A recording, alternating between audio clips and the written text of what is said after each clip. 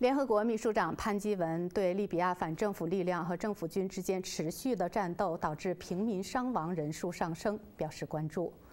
潘基文周四在一份声明中呼吁各方在行动中极为谨慎，尽量减少平民伤亡。潘基文还表示，与政治进程挂钩的停火是在利比亚实现和平的唯一可行办法。